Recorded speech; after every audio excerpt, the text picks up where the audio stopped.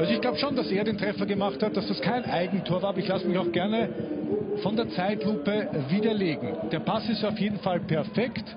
Nein, nein.